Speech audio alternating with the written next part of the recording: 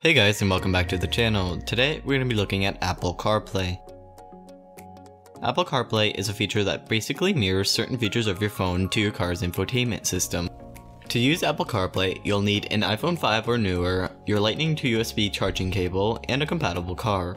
To see if your car is compatible, click the link in the video description. Be sure to watch until the end of the video to find out how you can use CarPlay without the need of your charging cable. After finding out if your car is compatible, simply plug your phone into your car's USB port. When you connect your phone to your car, you should get a message on your phone asking if you'd like to use CarPlay. After accepting, the infotainment screen should change to look like the home screen of an iPhone.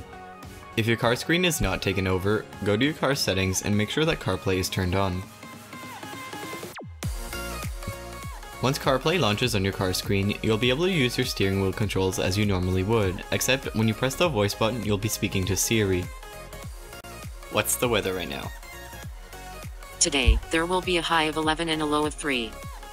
On the main screen, you'll see the Phone and Messages app, Apple Music, Maps, Podcasts and Audiobooks, Now Playing, and a home button which takes you back to the main screen.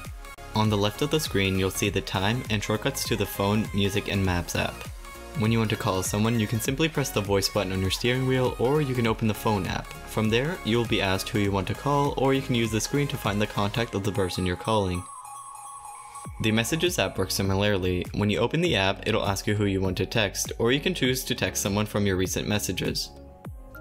To play your music, simply ask Siri to play a certain song from your library, or you can open the music app and find the song, playlist, artist, etc. You can also choose from online radio stations under the radio tab. To listen to podcasts or audiobooks, open the app and pick from one of your saved podcasts or audiobooks.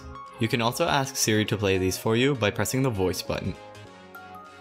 To get directions, you can once again just press the voice button and ask for directions, or you can open the Maps app. From there, you can choose from one of your recent destinations or nearby gas stations, parking, restaurants, coffee shops, or groceries. Now, to use CarPlay without a wire is super simple. Your car, however, must be compatible with wireless CarPlay. Not all cars that are compatible with CarPlay are also available with wireless CarPlay. The first thing you want to do is go to your phone settings, then General, then CarPlay. If your car is turned on and compatible, it will appear here, otherwise you will have to use a cable. I hope you enjoyed this video. If you have any questions regarding CarPlay, please comment down below.